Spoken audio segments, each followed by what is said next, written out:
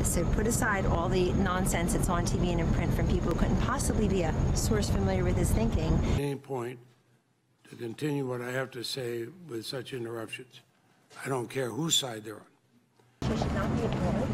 She should testify under oath, and she should do it on Capitol Hill. But if that's up to the Senate Judiciary Committee, they need to decide the.